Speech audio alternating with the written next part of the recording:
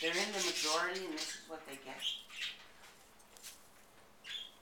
Then Republicans say they were left out of the loop on.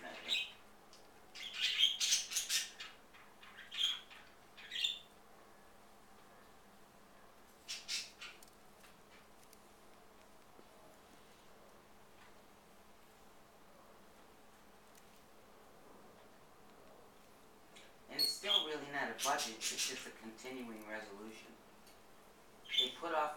After November fourth, all the way to March, for agency whose budgets had not passed. So it's not even really a budget bill, it's a continuing resolution.